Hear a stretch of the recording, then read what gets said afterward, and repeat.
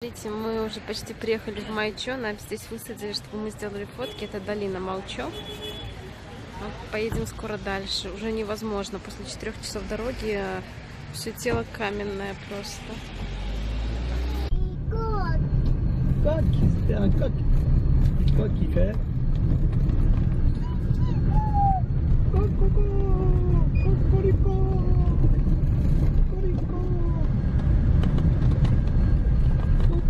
Oh, là il y a des petits. Poussin Le poussin il fait comment?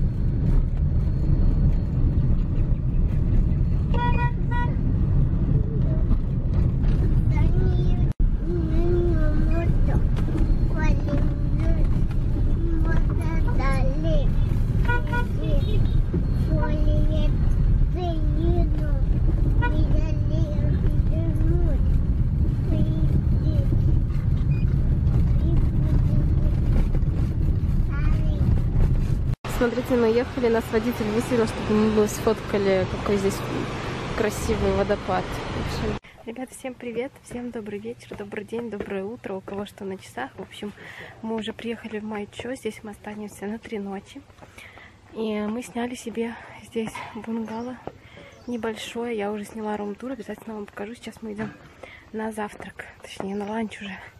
Здесь очень-очень красиво, я потом еще покажу территорию.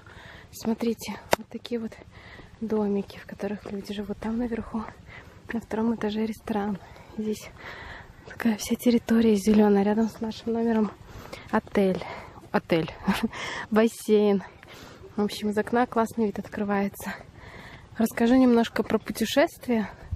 Сейчас, как оно у нас прошло, дорога сюда. Все, ребят, мы заселились в отель. В общем, здесь у нас эм, душ и э, всякие принадлежности для того, чтобы привести себя в порядок. Дальше у нас здесь шкаф есть в комнате.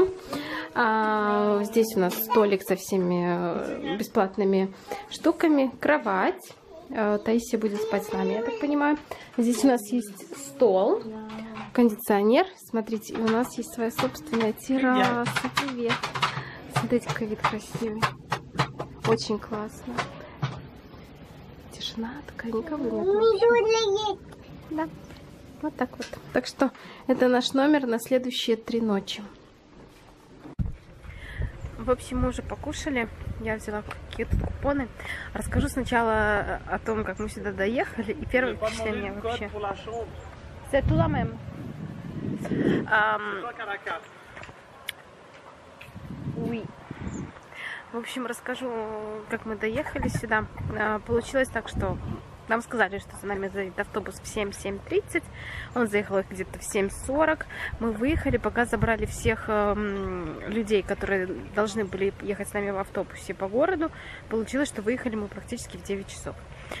А сюда мы приехали где-то в 12, потому что делали остановку и потом еще нас на такси везли тоже около 40 минут, потому что э, место, где находится наш отель, оно вне города, оно находится как в, в, маленьком бу, в маленькой бухте в заливе, так что нас сюда привезли, привез таксист. Мы уже вышли немножко позагорать, потому что больше здесь делать нечего. В общем, оказалось, что этот отель он э, типа как э, дружба с природой и всякое такое. Здесь нет ни телевизоров, ни каких-то там э, развлечений особых. Здесь вот единение с природой. Самая главная мысль. Все из натуральных сделано материалов. Это камень и дерево. И, в принципе, территория красивая, большая. Ничего не могу сказать против этого. Можете сами видеть. В общем, здесь и горы, и река, и озеро. Очень красиво. И здесь и лодочки плавают. Можно на великах пойти покататься. Вон Таисия с папой уже в бассейне плюхается. Минусы определенно здесь есть. А минусы это то, что, например, а, поесть здесь абсолютно нечего. То есть из позиции меню всего есть 7 штук. Ну, то есть 7 позиций меню есть. И стоят они, чтобы вы понимали, эм, на человека где-то 20 франков. То есть в Швейцарии такие цены. Здесь я не понимаю просто откуда. И мало того, что и выбора нету, и цены такие, плюс еще налог берется дополнительно. Сюда добраться тоже стоит очень дорого. То есть автобус доходит до города, и потом от города нужно обязательно брать такси.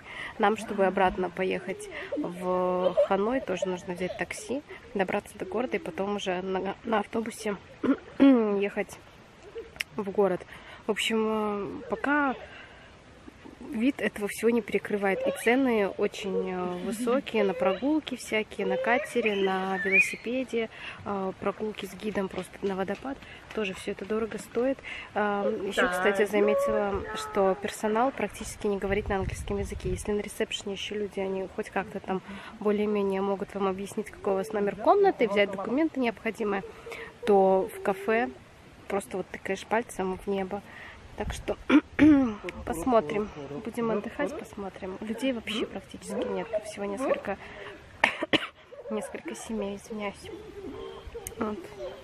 Ну, пусть ребенок радуется. Будет у нас такой детокс от городской жизни.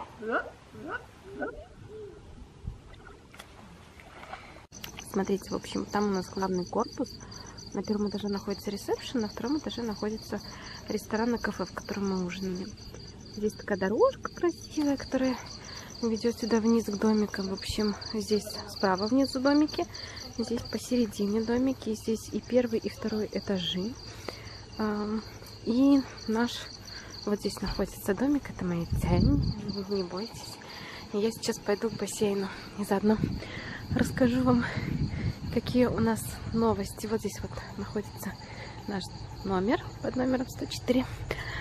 В общем, мы с мужем долго думали, а, переварили эту всю информацию, которая на нас вдруг свалилась, потому что здесь оказалось невыносимо просто дорого, даже по швейцарским меркам. Я вот так сравниваю и э, понимаю, что на самом деле не только там в Швейцарии цены очень высокие. В общем, оказалось, что очень дорого, не только поесть, но и всякие развлечения, за все отдельно нужно платить. Единственное, что здесь бесплатно, по сути, развлечения, это вот ходить по территории отеля, вот этот прекрасный бассейн, который э, светится зеленым цветом и подсвечивается еще изнутри. И все. И больше здесь делать нечего. И мы с мужем долго думали, потому что оставаться здесь на три дня и тратить какое-то безумное количество денег, то оно нам не надо. Ну и, в общем, мы с ним переговорили и решили, что э, сначала хотели отказаться от одной, двух ночей здесь и остаться всего лишь на эту ночь, и завтра обратно вернуться э, в Ханой, потому что ну, просто здесь нечего делать, особенно с ребенком, учитывая то, какая она у нас активная, то сидеть в номере целый день или сидеть в бассейне целый день, то это тоже не вариант.